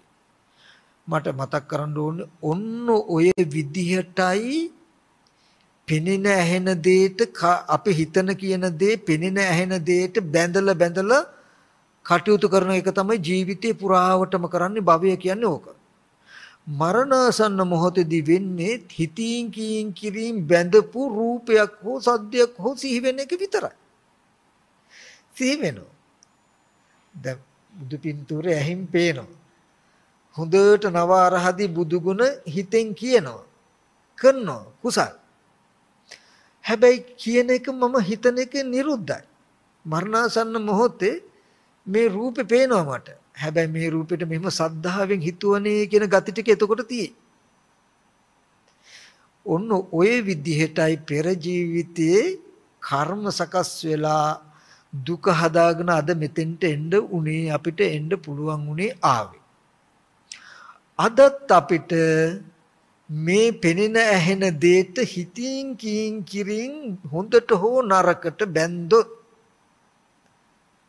කර්ම රැස් වෙනවා කියන්නේ මරණාසන්න මොහොතේ හොඳට හිතපු හෝ නරකට හිතපු ඇහින් දැකපු කනෙන් අහපු ශබ්දයක් හෝ රූපයක් හෝ ගන්ධයක් හෝ සිහි වේ. කර්ම නිමිත්ත හැටියට. හැබැයි සිහි වෙනකොට මේ අරමුණ අරබයා හිත හැසිරලා තින්නේ හිතලා තියන්නේ කියලා තියෙන කරලා තියෙන්නේ මෙහෙමයි කියන ටික ඒකේ තියෙයි. ඒට අනුව ප්‍රතිසන්දියගේ ඇති වෙලා මේ වගේම දුක හදනවා කියනක නවත්තන්න බෑ. අද අපි කර්මක්ෂය කරගන්නවා කියන්නේ නැත්තම් අනුපාදා පරිනිර්වාණය කියන්නේ ස්පර්ශ ආයතන හයේ එක ආයතනයක්වත් උපාදාන කරන්නේ නැතුව චූටි දෙයක් තියෙන්නේ උපාදාන මේ ආයතන හයම උපාදාන නොකරනවා කියලා කියන්නේ මනෝ විතරක ටික හකුලවා ගන්න පුළුවන් නම් හිතන කියන කරන දේ පෙනෙන ඇහෙන දෙයට බැඳෙන්නේ නැති විදියට හිතුවොත් හිතන එක හිතත් එක්කම නිරුද්ධ වෙනවා. දැන් මට ඕන දෙයක් හිතන්න පුළුවන්. දැන් මම තාරකාවක්. ඉර හඳ කියලා හිතුවොත් මේ හිතන සිද්ධිය බාහිර වස්තුවකට අයිති වෙන්නේ කොහොමද බලන්න? ඒක හිතින්ම නිරුද්ධයි. ඒ වගේ මම මෙතන ඉඳන් පුවක් බුලත් මල කෝප්පේ කියලා හිතනවා. හිතන දේ එතනම නිරුද්ධයි. නමුත් අවිද්‍යාවෙන් ශනිකව අපි බාහිර රූප වලට ගැට ගහගන්න වේගෙන්. එතකොට ඉබේම බාහිර මේ විදිහේ ලෝකයක් තියෙන දේවල් හැදෙනවා අපිට. එතකොට කර්ම සකස් වෙනවා. ඉතින් අපිට හිතන කියන කරන දේවල් හිත පිළිබඳ වූයි හිත හිතත් සමග මේ ධර්ම නිරුද්ධයි කියන නුවණ ඇති කරගන්න පුළුවන් නම් අපි ස්පර්ශ ආයතන හයෙන්ම මිදිලා ඉන්නේ. එතකොට තමයි දිත්තේ දිත්ත මත්තන් සුතේ සුත මත්තන් මුතේ මුත මත්තන් කියලා කියන්නේ පෙනෙන දේ ආරම්භය ඔබට යමක් හිතන්නවත් කියන්නවත් කරන්නවත් බෑ. පෙනෙන දේ පෙනීමක් පමණයි කියන නුවණ ආවොත්. පෙනෙන දේ පෙනීමක් පමණයි දිත්තේ දිත්ත මත්තන් කියන නුවණ එන්නේ ඒ ආරම්භය හිතන්නවත් කියන්නවත් කරන්නවත් බෑ.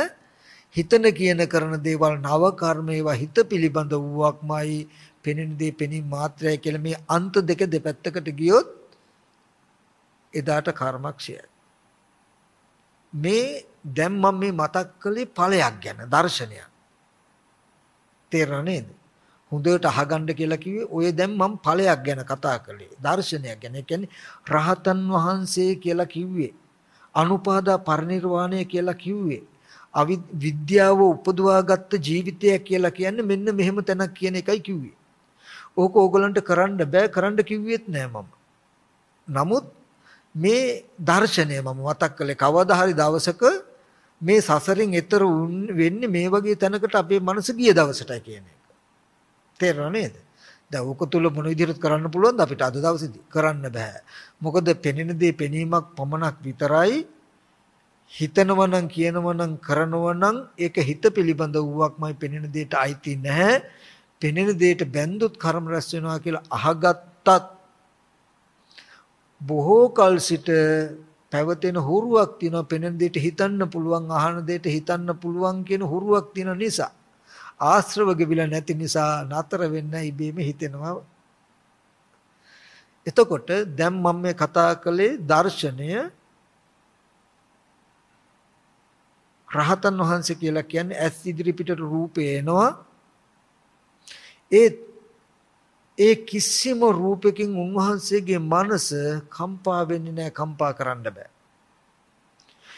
ඒ හැම අරමුණක්ම නොඇලී විඳිනවා ඒ අරමුණේ විනාශයද දකින්න ඒක නැති වෙනකමද දකින්න ඒක එහෙම වෙන්නේ මේ වගේ නොඇලී ඉන්න නිසායි කියන දර්ශනය මතක් කළා. හරි.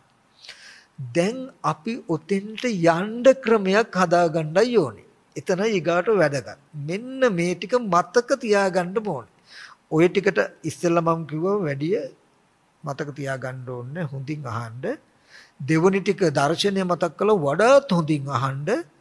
ඒකක්ක මතක තියාගන්න කිව්වේ නැහැ. මේ කියපුවා මතක තියා නොගත්තත් ඕගොල්ලෝ උතෙන්ට පැමිණෙනවා. දැන් මම මේ කියන ටික හොඳට මතක තියාගන්න ඕනේ. ඒක තමයි ඕගලන්ට කරන්න යමක් හම්බ මේ සඳහා අපිට තියෙන්නේ එකම එක දොරටුවයි යන්න උපායයි. ඒ උපායේ අපි හොඳට දක්ෂ වෙන්නට ඕනෙමයි. ඒකෙදි සීලේක තමන්ට පුළුවන් විදිහක පන්සිල් හරි ආජීවස්තමක සීලය හරි උපෝසත සීලයක හරි සීලයක පිළිහිටලා බුදු ගුණ අසුභේ මරණේ මෛත්‍රී ආනාපාන සති ආදී නීවරණ ධර්ම දුරු වෙන සමත කමඨහනකින් හිත වඩ වඩ විදර්ශනා කට යුතුය. දැන් මම විදර්ශනා කරන හැටි කියලා දෙනවා. මේ කියලා දෙන ක්‍රමය අනිවාර්ය ඒකාන්තයෙන්ම ඕගොල්ලන්ගේ නිවනට පමුණුවනවාමයි. හරිද? ඒ හින්දා හොන්දට මතක තබා ගන්න ඕනේ. හරිද? මේ ටික අවශ්‍යමයි. මොකද එච්චරට ඒකේ වටිනාකමක් මම දන්න හින්දායි කියන්නේ මේ හරහා නොගොස් වෙන මේ වගේ දර්ශනයකට යන්න තැනකුත් නැහැ. හරි. ඒ තමයි දැන් ඕගොල්ලන්ට පින්වතුන්ට මොනවා හරි දේවල් සිහි කරන්න පුළුවන් අපි කියමු දරුවා සිහි කරනවා කියලා. වෙනදට අපි කරන්නේ දරුවා කියලා සිහි වෙනකොට සිහි කරනකොට සිහි කරපු අරමුණ ඇත්ත වෙලා ඇත්ත වෙලා ඒක තුල සැප හෝ දුක ඇති වෙන හෝ ලෝභ ද්වේෂ මෝහ කියන කෙලෙස් ඇති වෙන විදිහට හෝ කටයුතු කරන එකයි වෙන්නේ. ඒ කියන්නේ දරුවා කියලා සිහි වෙනකොටම ඇත්තට ළමයා ඉස්කෝලේ ගිහිල්ලා ආවද දන්නේ නැහැ තනියමද දන්නේ නැහැ ඉන්නේ. මේ විදිහට දරුවා කියන එක ඇත්ත වෙලා ඊට ප්‍රතිඋත්තරයක් මොන හරි දෙනවනේ අපි. වෙනද කරන්නේ මේකනේ. දැන් අපි කරන්නේ ඊට වඩා වෙනස් දෙයක් වෙනස් දෙයක් කියන්නේ දරුවා කියලා සිහි වෙනකොට අරමුණත් එක්ක ඉස්සරහට යන්නේ කරන්නේ හොඳට සිහියෙන් දරුවා කියලා සිහි වෙනකොටම ඒක ඇත්ත වෙන්න ඉස්සෙල්ලා දරුවා කියලා මෙහෙම සිහි කරන්න පුළුවන්කම මෙහෙම දැනුමක් මට ඇති උනේ කොහොමද? දැන් ළමයා ගෙදර ළමයා ඉන්නවා කියලා සිහි කරනවා නම් Tamanට Tamanට සිහි කරන්න පුළුවන්කම ඇති වෙච්ච ක්‍රමයක් තියෙන්න එපා නේද? ආන් ඒක හොයාගෙන උඩු හතට යන එකයි කරන්නේ අපි. දරුවා කියන එක ඇත්ත වෙලා රාග දේශ මොහ ඇති වෙන්න ඉස්සෙල්ලා. ඔන්න හිතාමතාම ඕන අපි දරුවව සිහි කරනකොට අපි උඩහ අතට යනවා. උඩහ අතට කියලා කියන්නේ දරුවා කියන එක ඇති වෙන්න. ඇස් ඉදිරි පිටට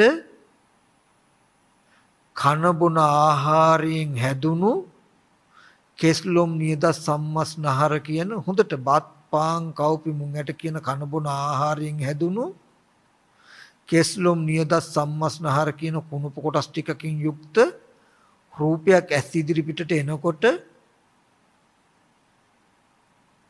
මේ මගේ දරුවා නේද කියලා හිතුවාම මේ හිත දරුවා නේද කියලා දරුවා කියලා හිතපු එකයි අර රූපයයි දෙකම එකට එකතු කළා නේද මේ දැනුම ඇවිල්ලා තියෙන්නේ ඔන්න හොඳට බලනකොට පිටිපස්සට ගිහිල්ලා දැන් මෙනෙහි නොකරන තාක් ඕගොල්ලන්ට බාහිර දරුවෙක් හිටිය දරුවෙක් ඉන්නවා කියලා හිත සිහි කරන්න පුළුවන් ඕන තරම්. හැබැයි ඒකයි විඥානයේ මායාවක් කියන්නේ. හැබැයි ඒ දැනගත් දරුවා කියලා දැනගන්න පුළුවන් සිහි කරන්න පුළුවන්කම විමසලා බලනකොට ඊට අදාළ භූමියක් නැහැ. කන බොන ආහාරයෙන් හැදුණු කුණුප කොටස් ටිකකින් යුක්ත රූපයක් ඇස් ඉදිරි පිටට ඇවිල්ලා තියෙයි. ඒකට මේ මගේ දරුවා නේද කියලා හිතලා තියෙයි. එහෙම හිතනකමත් මේ රූපය දෙකම එකතු කරලා මේ මගේ දරුවා කියලා දැනගන්න තියෙයි. ඔන්න ඒ අරමුණ පෙන්නවා. ඊට පස්සේ අපි යාළුවෙක් සමන්ත කියලා සිහි කෙරුවා කියමු. දැන් ඒ හැඩේ සමන්ත කියලා අපිට හොඳට සිහි කරගෙන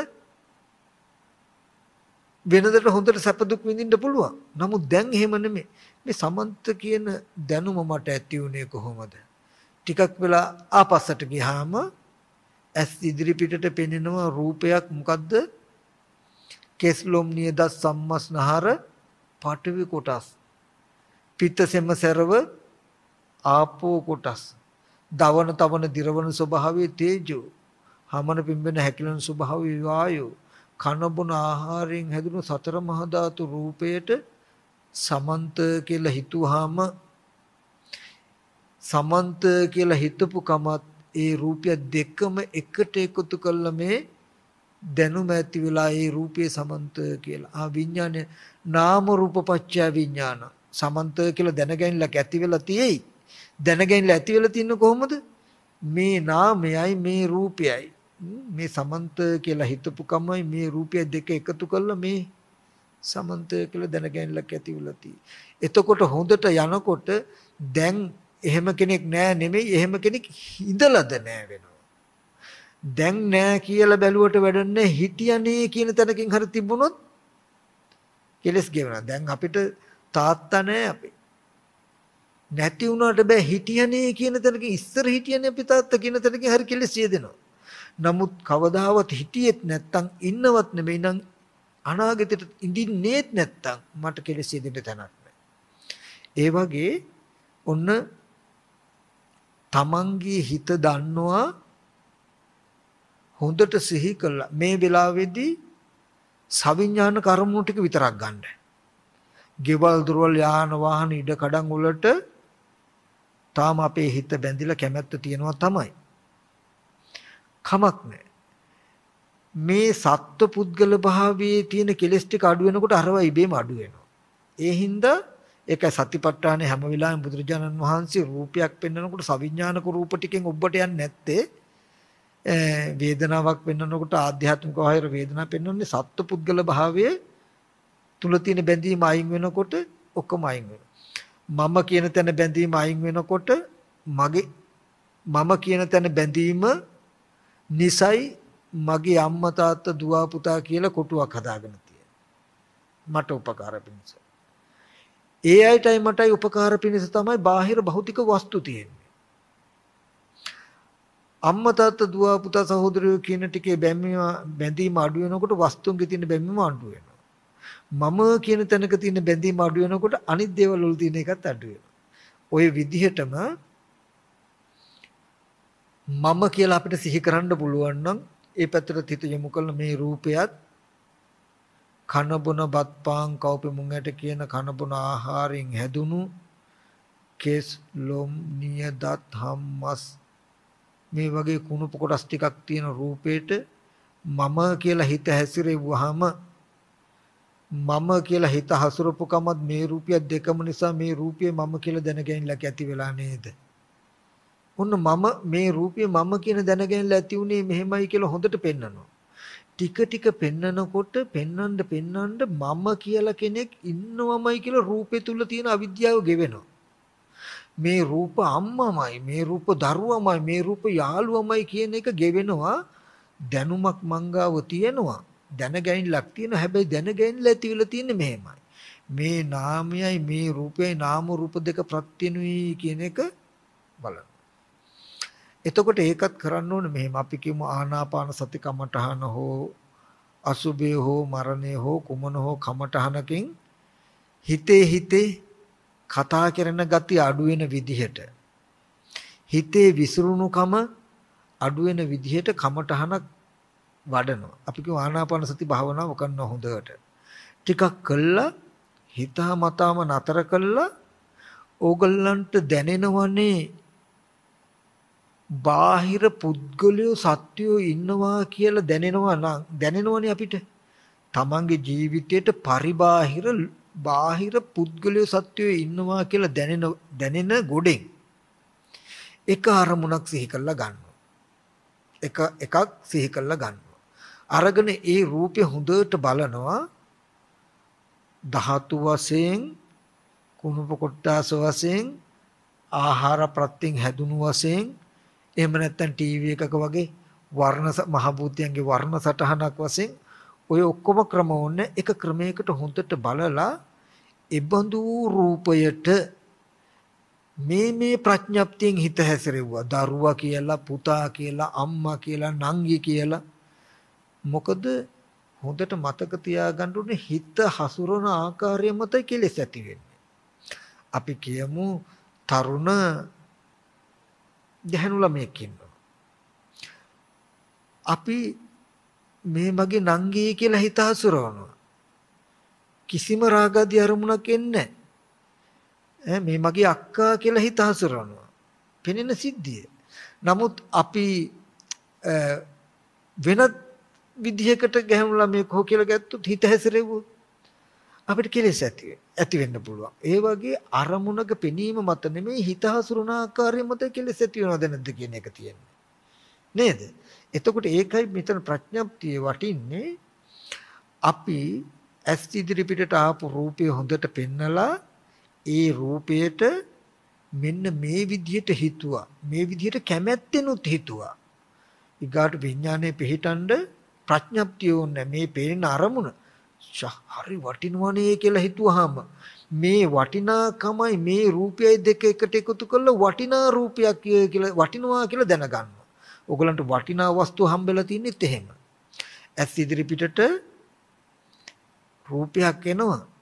මේවට තමයි රත්තරන් කියන්නේ. මේක නම් පවුම් පහක් විතර බරයි. පවුමක් දැන් රුපියල් 60000ක් වත් වෙයි. හිතින් ගණන් බලනවා මේකට.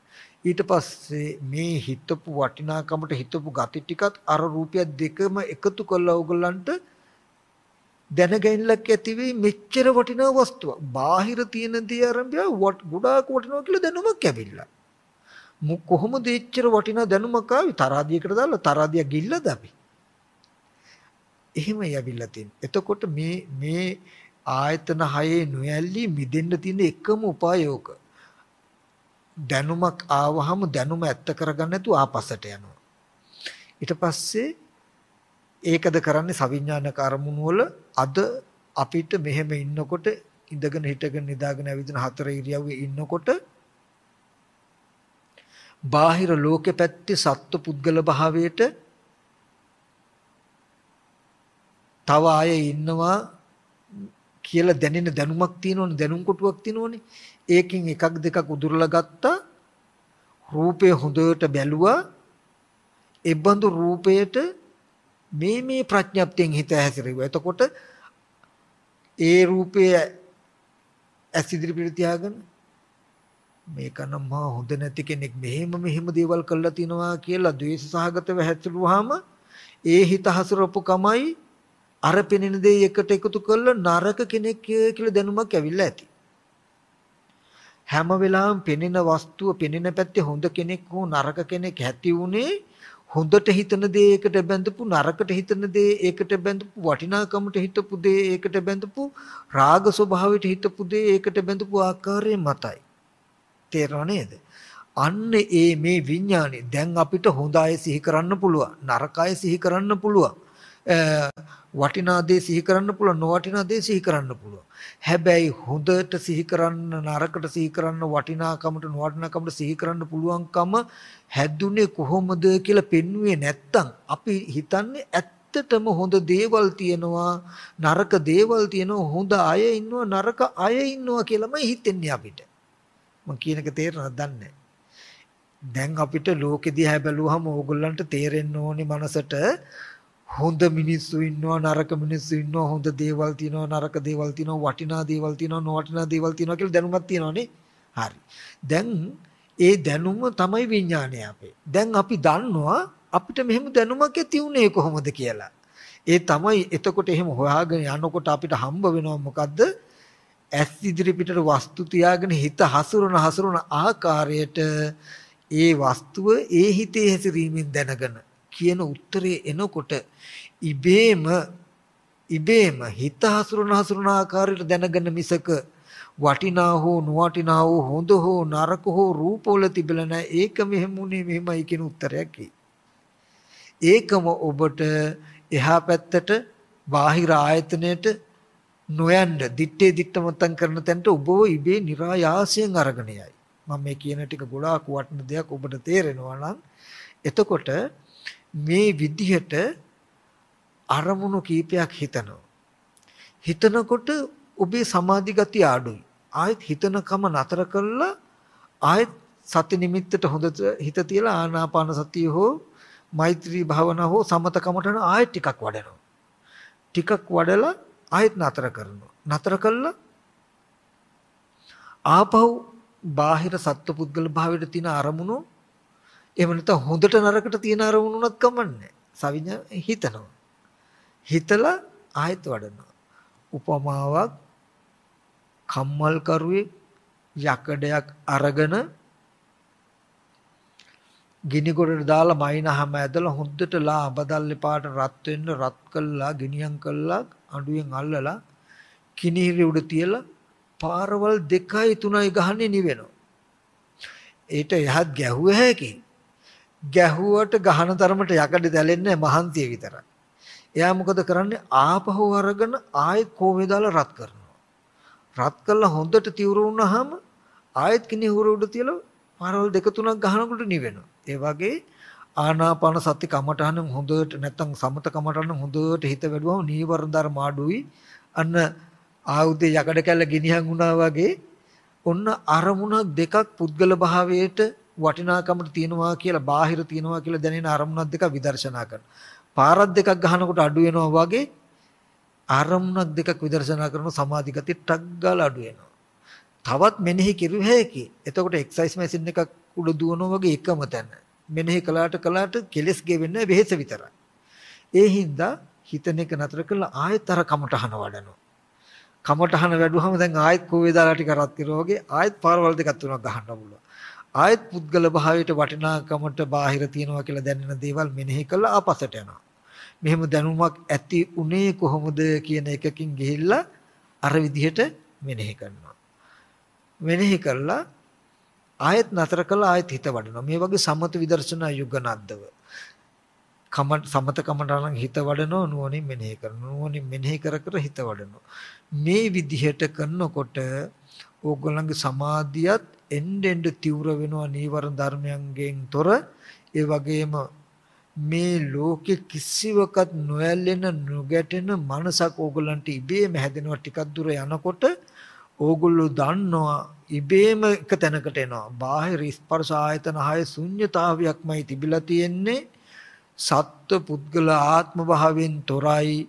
රන් රිදී මුතුමැණික් ආදී වටිනා දේවත් ඒ වගේම නරක ජරා නොවටිනා දේවත් ඒ තුල තිබිලා නැහැ. පෙනෙන ඇහෙන දේට වටිනා නොවටිනා කමින් බලපු චේතනා ගැට ගහපු කම නිසාමයි මේ බඳු දැනුමක් ඇති වෙලා තියෙන්නේ කියලා ලෝකයේ ඇති වෙච්ච හැටි ඕගලන්ට තේරෙයි. ඒ කියන්නේ ලෝකය කියලා කියන්නේ අද ඔබට හොඳ මිනිස්සු නරක මිනිස්සු හොඳ දේවල් නරක දේවල් බොහෝ වටිනා දේ බොහෝ නොවටිනා දේ ඇති බවට හම්බ වෙනවා. ඔබේ මනසට තේරෙනවා බාහිර මෙහෙම මෙහෙම දේවල් මෙහෙම මෙහෙමයි ඉන්නවා කියලා. ඔක ලෝකේ. ඔය ලෝක සමුදය, ඔය ලෝකයේ ඇතිවෙච්ච හැටි ඔබට පෙනෙයි. විඥාන නාම රූප සලආයතන පස්ස වේදනා කියලා කියන්නේ පෙනෙන දේ ඇස් ඉදිරි පිටට මෙහෙම පෙනෙන දෙයක් ආවා. තණ්හා උපාදාන කියන එකෙන් කිව්වේ හොඳ විදිහට නරක විදිහට කැමැත්ත ඇති වෙන විදිහට අර අකමැත්ත ඇති වෙන විදිහට පුද්ගල භාවය ඇති වෙන විදිහට ඒකට හිත හැසිරෙව්වා. භවය කියලා කියන්නේ පෙනෙන දේ හොඳයි, පෙනෙන දේ හොඳ නැහැ. අර වස්තුව වටිනවා ඒක වටින්නේ නැහැ කියලා දැනුම් සම්භාරයක් ගොඩ නැගිලා ලෝකේ. භවපච්චයා ජාති දැන් හොඳ අය සිහි වෙනවා නරක අය සිහි වෙනවා කැමති දේවල් සිහි වෙනවා අකමැති දේවල් සිහි වෙනවා. ජාතිපච්චය ජරා මරණ හොඳ දේ නැතිවීමෙන් දුක නරක දේ ලැබීමෙන් දුක දැන් ඉතින් දුක් විඳි. නමුත් ඔය සියලු දුක් එකකටවත් මරණ පස්සේ මේ ජීවිතේම ඕගලන්ට ඉඩ නැහැ. මෙන්න මේ ක්‍රමයේ උපාය කරගන්න මෙතනින් පොඩ්ඩක් පිටිපස්සට යන්න. ඒ කියන්නේ සිහි වෙන සිහි වෙන දේ ඇත්ත කරගෙන වෙනදට හිතේ හිතේ ගණන් බලනවා වෙනුවට හිතට මෙහෙම දැනුමක් ඇති උනේ කොහොමද කියන එක බලන්න. හැබැයි මම මුලින් මතක් කළා මේ දර්ශනය දැකලා මේ දර්ශනේ ජීවිතය කරගෙන තමයි එදා පටාචාර්ලා වගේ අහිංසක අම්මලා කිසා ගෝතනීලා වගේ අහිංසක අම්මලා රජ්ජුමාලා වගේ අය සුවපත් උනේ. ඒ සුවපත් උනේ නිකන් නෙමෙයි තිස්ස තෙරුන් වහන්සේ චක්කුපල තෙරුන් වහන්සේ පීතමල්ල තෙරුන් වහන්සේ නිලක්ක තෙරුන් වහන්සේ වගේ අතිශය වීරියක් වඩලා. ඉතින් අපේ ජීවිතත් සුවපත් වෙනවා නම් අර වගේම වීරියක් ඇති කරගන්නම තමයි අපේ ජීවිත සුවපත් කරගන්න වෙන්නේ. ඉතින් මේ ධර්මය මම මේ කියලා දුන්නු ටික ඕගොල්ලන්ට යම් පමණක හෝ උත්සාහවත් වෙන්න පුළුවන් වුණොත් ඕගොල්ලන්ට තේරෙයි මේ තුල මොනතරම් සුවක්කාත බවක් තියනවද කියලා බුදුරජාණන් වහන්සේ කිව්වටවත් දේශනා කරපු මම කියනවටවත් නෙමෙයි ඕගොල්ලන්ටම තේර ඒකාන්තේ මේ ජීවිතයේ දුක නිවෙනවා කියලා. ඉතින් අද දවසේදී මම මේ කියලා දුන්නු දහම් පරයය මෙතන ඉන්න පිරිසටත් මේක ශ්‍රවණය කරන සමස්ත ලෝකවාසීන්ටත් මේ ජීවිතේම අවිද්‍යාව නැමැති අන්ධකාරය නැති කළ විද්‍යා ලෝකයේ උපදවාගෙන මේ ජීවිතයේදීම හැම දිනාටම නිවීම මිදීම හදාගන්න ලැබේවා කියලා ආශිර්වාද කරනවා.